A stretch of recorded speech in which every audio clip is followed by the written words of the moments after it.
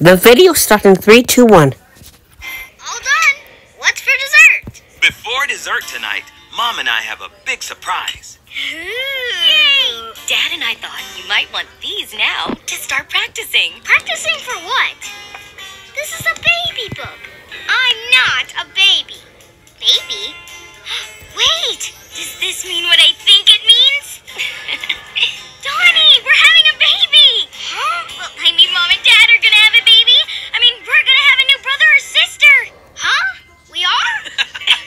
Yes, sirree. Another McStuffins! I can't believe it! I can't wait!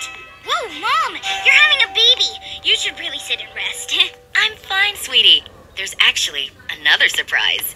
Is the baby gonna be a baby dinosaur? Ooh, not that surprising.